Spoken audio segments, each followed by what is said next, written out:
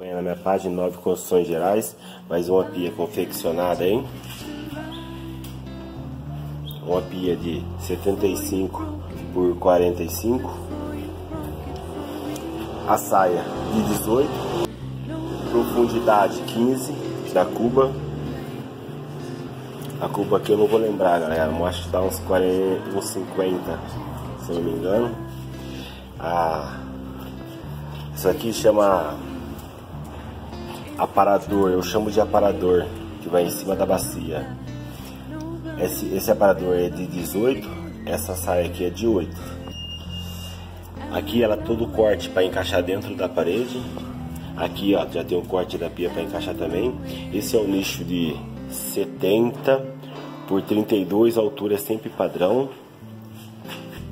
Ela é confeccionada com chapa dupla, com a base de apoio de armário um retorno de 6. O fundo dele, ele tem amortecimento de borracha. Para você tirar o tampo, você dobra esse lado aqui, ó, e tira com a mão do outro lado. Como eu tô com a mão só e eu tá filmando, esse pegador. Esse é o tampo. Por baixo, ele é assim com as borrachas que amortecem o impacto, não tem problema, não solta.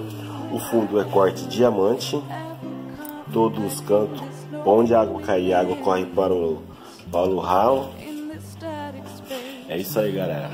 Quem quiser me acompanhar no YouTube, no Facebook, no Instagram, é o mesmo nome, I9 com Y e 9 Construções Gerais. Se quiser me acompanhar, galera, dá um like, compartilha que eu vou estar postando mais vídeos.